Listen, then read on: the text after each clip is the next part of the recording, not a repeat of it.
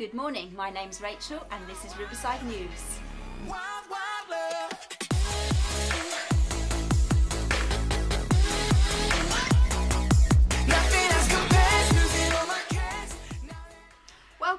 it's great to see you and if it's your first time in, a very warm welcome. Um, I hope you've picked up one of these bags. This gives you a few goodies in it. It tells you a little bit about what we're doing and that. And if you can fill out a welcome card, we can get your details and we can send you um, all the information of all our programs that's up and coming over the next few weeks direct to your email.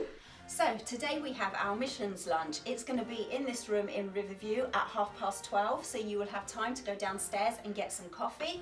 Um, we're really looking forward to hearing from Keith and Val, and they're going to tell us all about their journeys and their mission out to Chicago. So if you'd like to join us or you're interested in missions, just come upstairs, sit with us, have some lunch, and we'd love to see you there. Next Sunday, we have our Exmouth service at six o'clock. That's going to be in Ocean just down here, Exmouth. Look, we'd love to see you. We're having a really great time there, and we'd love you to be part of that with us too. So six o'clock down at the Ocean venue, um, we'll see you there. We believe that prayer changes things. So if you're going through something in life right now and you just feel like you need prayer, you've got an illness or financial problems or relationship problems.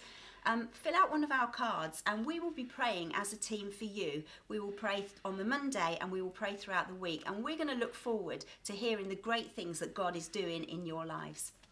We all need family, and one of the best ways of being part of the family here at Riverside is to join a Connect group.